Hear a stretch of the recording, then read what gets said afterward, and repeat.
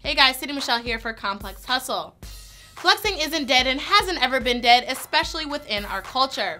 Whether you're grinding to pay bills, to cop the latest Yeezys, or invest in a new whip, no matter what profession you're in, everyone wants to stunt once in a while. Well now Mercedes-Benz is making that possible on another level. Mercedes-Benz has just revealed plans to release a new line of pickup trucks.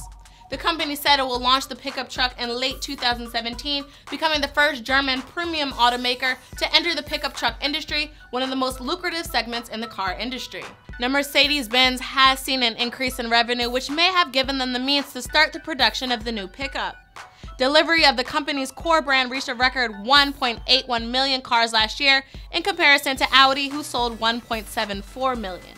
The new pickup model X-Class is set to hit showrooms in Australia, Brazil, Argentina, South Africa, and Europe late next year. Mercedes parent company Daimler Chief Executive Dieter Zetsche discussed how this new model will do for the company. With the Mercedes-Benz pickup, we will close one of the last gaps in our portfolio, and the new pickup truck will be built by our vans division. So for all the fly farmers, construction workers, or anyone who drives a pickup truck for work or pleasure, your chance to drive around a luxury pickup is now here. Stay tuned in next year to see when Mercedes-Benz newest pickup truck hits the US.